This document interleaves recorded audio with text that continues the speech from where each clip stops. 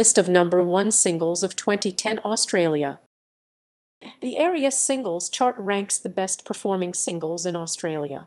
Its data, published by the Australian Recording Industry Association, is based collectively on each single's weekly physical and digital sales.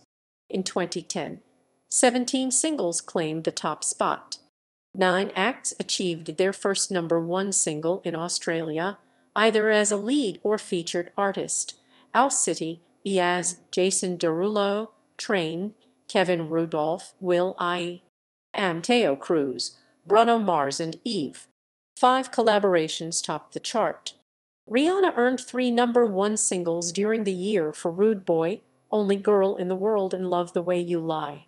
Mars earned two number one singles for Just the Way You Are and Grenade. Usher's OMG and Eminem's Love the Way You Lie. Were the longest-running number one singles of 2010, having each topped the ARIA Singles chart for six consecutive weeks.